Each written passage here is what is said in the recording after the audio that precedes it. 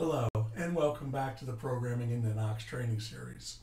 In this class, we're going to talk about buttons, clickable objects that when clicked execute a certain block of code. Now for purposes of this video, it's important to understand this concept of a trigger.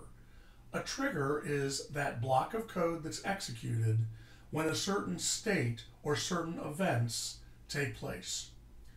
We're going to learn a lot more about triggers in the next training class, class 113, but what I want you to know right now is that the two button objects, the two clickable objects that we're going to learn about in this class are the only two manually user activated triggers. All the other triggers are activated automatically by Ninox when a current state occurs.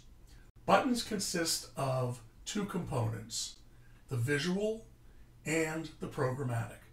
Let's go ahead and create a button now. Buttons are layout elements, so I'll go to the layout elements palette, select button, size it down using my sizing handle, and drag it into position. Now there are some default button appearances that you can use, blue, red, and neutral. And the benefit of these particular appearance options are that you can change the appearance of the button when it's being hovered versus when it's sitting neutral. I prefer to use a custom design and I'm going to go ahead and set that design now in terms of my foreground, background, the style of the content, the fact that it's centered, and I'm going to set up a medium-sized border to give it a somewhat three-dimensional look. And now we've got our button. The last component in the visual aspect is to name the button or give it a button tag. And I'm just going to go ahead and name this update. This becomes not only the name of the object as appears here in the table definition, and we see our button object right there, but it also is the content that will appear on the face of the button at runtime. So we've dealt with the first aspect of the button, and that is its appearance. And now we're going to deal with the second aspect. What happens when the button is clicked or the manual trigger is pulled? And I have a block of code that I'm going to use that will update the various months of the year, and we see those fields here. So we now have a trigger that has the appearance we want and executes the function that we want when it's clicked. Let's check it out. I'm going to go ahead and put in a transaction for 500 units sold on July 15th, 2024. When I click this button, I want the correct field, which is the July row, to be updated. And sure enough, when the button is clicked, the volume field is updated, the revenue formula is calculated, and my quantity sold and date sold fields are nulled or cleared out. So now I have a trigger that I can click anytime to activate a specific block of code. Now, as I mentioned, there are two clickable objects available to us in the Ninox environment. Now that we've looked at the button object, let's look at the other clickable object available to us. And it's an object that we've worked with before, and that's the formula.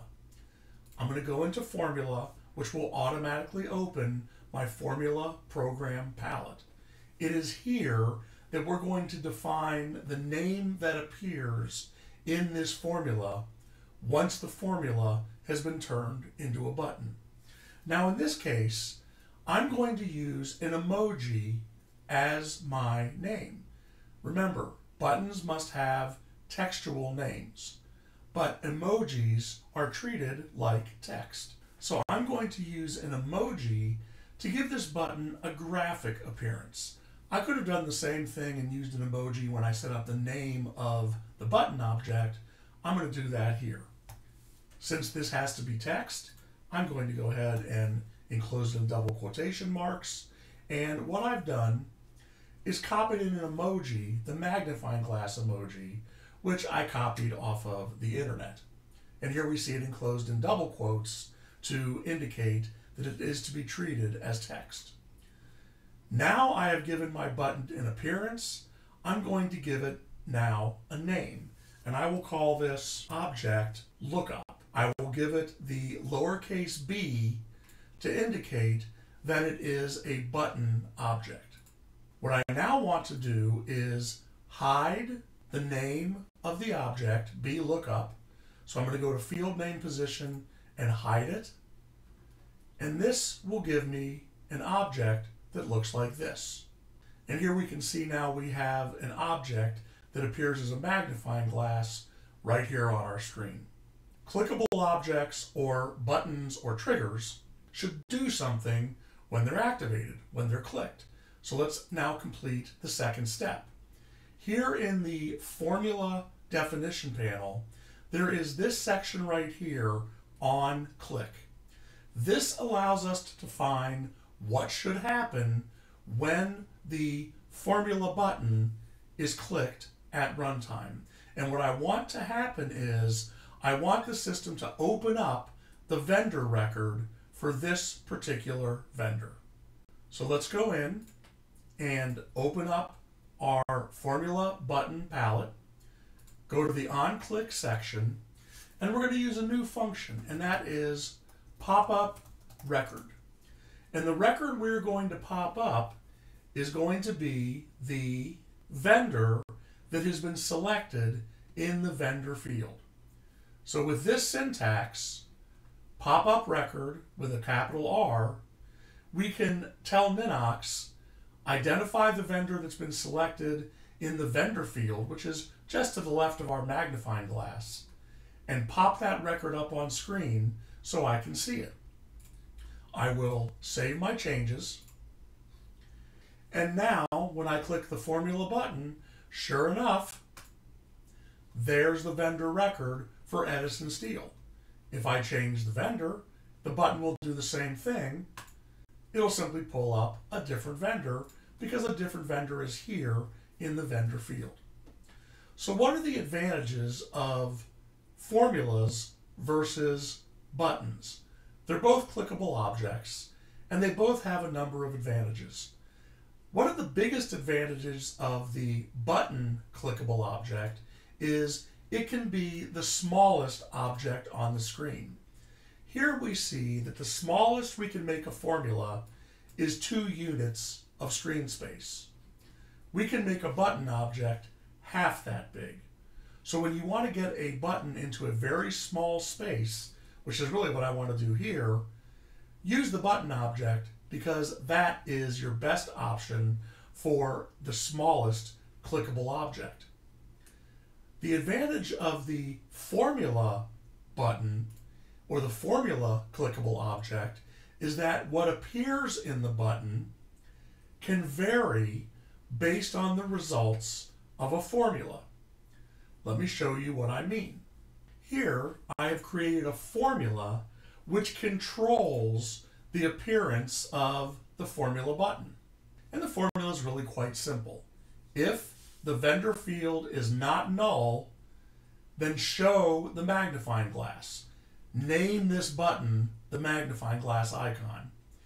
If, however, the vendor field is null, which means there's no vendor record to look up, then display nothing at all.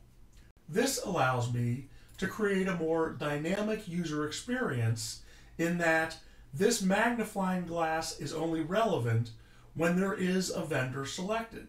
If the vendor field is null, then while the object is still there, there's no visual appearance. It effectively changes its name to be a null name. Using the programmability of the name of the formula when it's masquerading as a button allows us to give buttons the ability to change color, change name, change every aspect of their performance when they are clicked based on other environmental considerations. I'm going to define a block of code that says if quantity sold equals null or date sold equals null, then false. Do not display the button. If, however, this statement is not correct, that the quantity sold is not blank and the date sold is not blank, then it is true I would like to have the button displayed. Let's see our code in action. Quantity sold, date sold, both null, no button. Put in a quantity sold, still no button. But when I put in the date sold, now the clause, are both of these fields blank, is false. They're not both blank. And when they're not both blank, it's true that I want this button to appear. So we have these two clickable objects, buttons and formulas that have a clickable component. To learn more about triggers, let's go to class 113. I'll see you there. Visit us at www.nioxus.com. Here, you can learn about different Ninox solutions. You can get tech support through our Ninox Help Desk, which is available seven days a week, or you can schedule private one on one concierge sessions for training, or we can help you build your application. And if you haven't done so already, sign up for our free Ninox Learning Lab. We do this every Thursday at 12 o'clock Eastern Standard Time, 5 p.m. in the UK, 6 p.m. Central European Time. These free hour-long sessions enable you to learn more about Ninox, features, functions, and solutions. We have open Q&A where you can get answers to all your Ninox questions, and you can meet other members of the global Ninox community. We look forward to seeing you there.